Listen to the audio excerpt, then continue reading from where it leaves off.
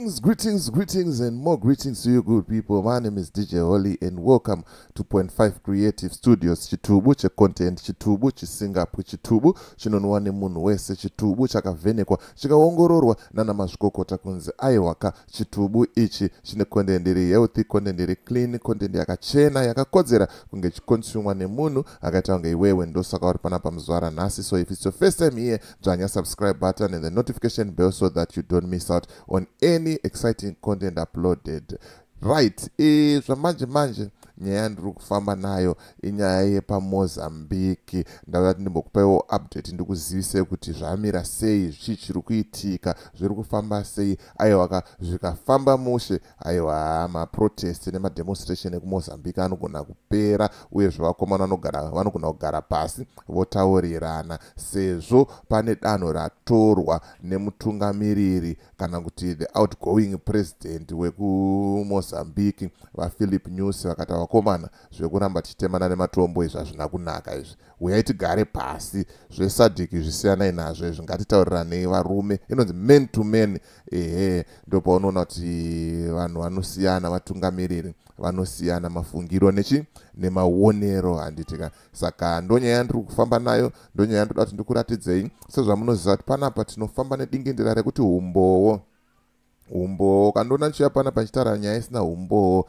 usaone vhidhiyo iroro kana kuti chimbva wagara waunsubscriber ndikakuudzai kuti vamunangagwa vafa izvozvi ndinokuratidzai umbowo hwacho paskrini apo mozvionera. Nyange zvikazonzi dzadziri nyuzi dzekunyeba but ini ndaita sei? Ndakuratidzai umbowo saka pana pada kuti ndikuratidzai umbowo umbowo hwandinawo but ndisati ndakuratidzai umbowo ndikuti kana une bhizinesi raunaro rauda kuti rishambadzwe rauda kuti risvike kuvanhu ndibate nhamba dzangu ndo dziri paskrini idzo. Kana une nyaya yaunayo yauda kuti ndifambire kana pane munhu anetsa ehe ndibate futi pachi panhamba idzodzo. Toita sei tofambira nyaya dzacho tisingatye tisingavhunduke. Handitika gwenzi refitomed richiripo ende rakazara rakatongomirira iwewe kuti utore odha yako kupera kwemwedzi kunoko. Handitika kana uri mujobek and surrounding areas bata mai robert. Kana uri mucape town and surrounding areas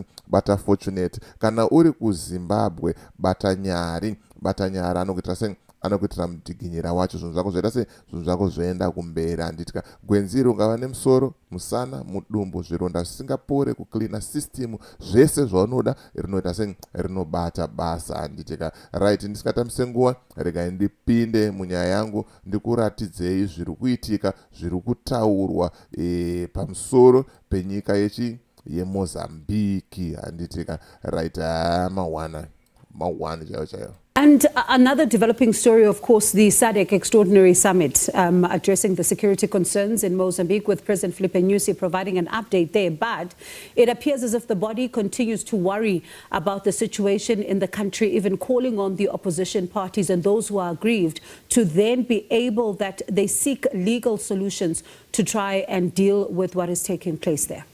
Yes, it was clear from I think two days just before the summit that it was going to be very difficult for the summit to come up with a concrete proposal in terms of what needs to happen.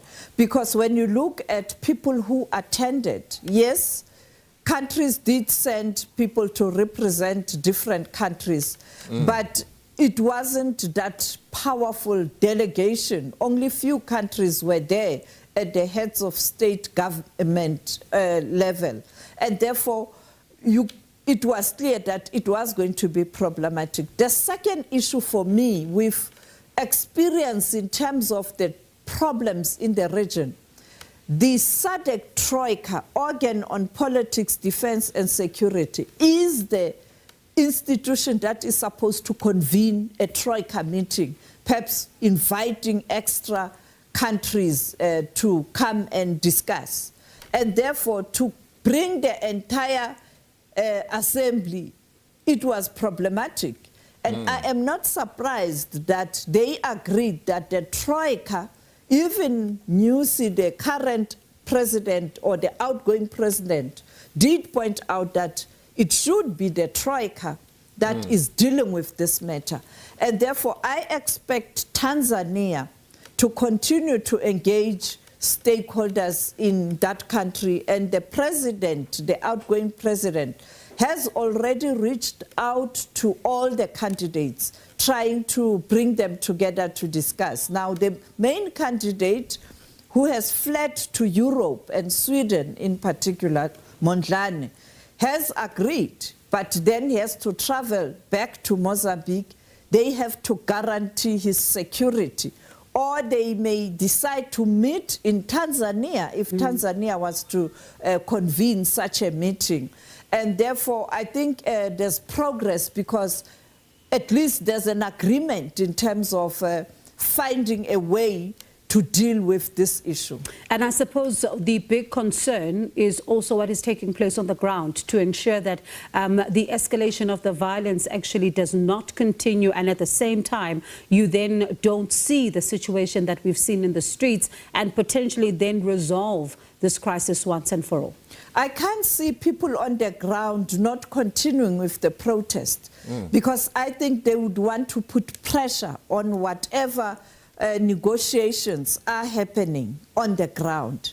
But the president of uh, Mozambique, Nyusi, indicated that when he was addressing the nation two, weeks, uh, two days ago, that the security must continue to work to ensure uh, security and protect property and also the people of Mozambique. And you'll continuously see this standoff. But I think for me, the big breaking news this afternoon is when Mondlane agreed to meet with uh, President Nyusi and other leaders in Mozambique. But then, as I pointed out, is this meeting going to be virtual, which I think that will be the starting point while you prepare for his traveling back to the country mm. and guaranteeing him security, or having the next meeting in Tanzania, perhaps convened by Troika.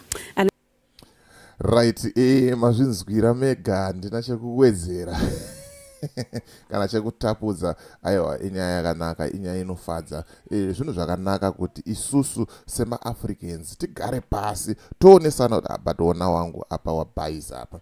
Ngatidai so kuti zvinhu zviite bho uri kuona. Wotanga kufunga vanhu first before usati wafunga kuti saka ndichaba mari saka yapa ndichawana mari sezvinoitwa nevamwe. Ah, mawani. Mawane saka zvikafamba zvakanaka hurukuro dzikaitwa. Aiwaka tinoona hurumende yemubatanidzwa pamozambique apa vachigadzira mareforms vachigadzira nyika vachiita sei? Vachigadzirira futi maelections anoteera kuti ange ari free and fair pasina anobirira pasina anoda kubvuta chinhu. Nechi nechisimba handitika. E, mazvinzwirwa kuti hanzi bato resadhiki rese rakaungana kuharare zvanga zviri unnecessary boka retroika kadhipatimendi kadiki kanoona nezvesecurity ndo kaifanira kungosangana kuti vakomana toita sei nesituation iyi. Kwete the whole board extraordinary meeting yamasimba ah, vakashata uh, ndirika so ndonyanga ndikufamba naizvo manje manje esomi dj holly and the rest of the crew behind the scenes kuti kuti its by for now. Ngatisangane muchi muvhidhiyo rinoteera